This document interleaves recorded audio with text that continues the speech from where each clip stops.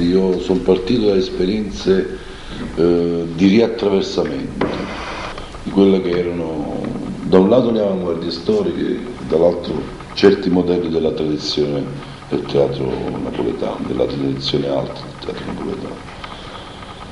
Man mano questi, diciamo, questo tipo di, di, di autodidattismo, no, di autoscuola, che ho fatto ha portato a spogliare molti elementi, diciamo i più evidenti della rappresentazione, per eh, far sì che la rappresentazione diventasse un'immagine interiore, un'immagine interna, quasi una rappresentazione di ciò che sta dietro le cose, di ciò che è dentro le cose.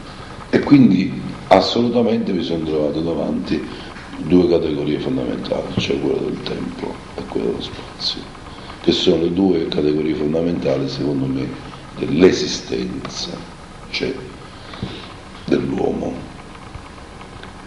Il silenzio è, il, è ciò che scandisce in maniera più eloquente molte volte il tempo ed è ciò che ti fa percepire in maniera più profonda lo spazio.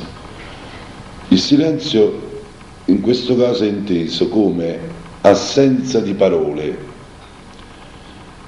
In, in certo qual modo questo discorso è stato sempre equivocato, cioè il mio teatro non è stato ancora capito. Questa essenzialità, questa scarnificazione, l'esigenza di appropriarsi di qualcosa d'altro, che forse non è nemmeno nominabile e non è prendibile, e che di fatto agisce su queste due categorie, la categoria del tempo e la categoria dello spazio. Non è più il tempo delle parole a scandire una rappresentazione, ma è un altro tempo e non è più uno spazio tra le azioni a scandire il tempo della rappresentazione, ma è uno spazio mentale, è uno spazio interiore, quindi è uno spazio che continuamente si scompagina, che va al buio, ritorna alla luce. Questo nemmeno è stato mai capito.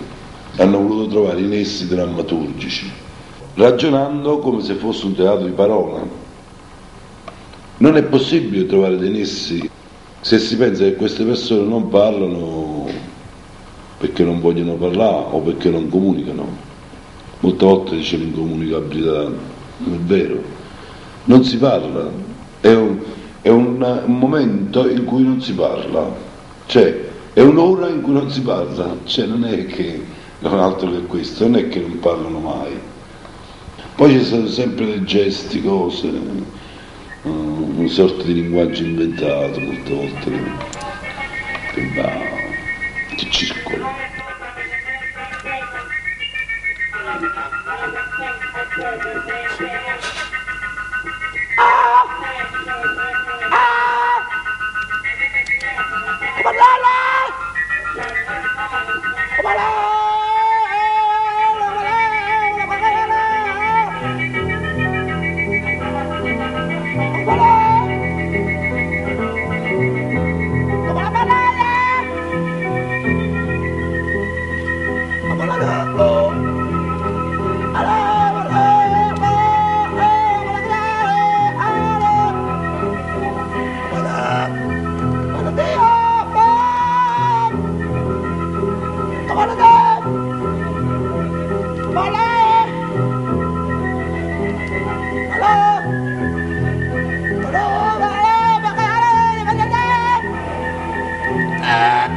Bye.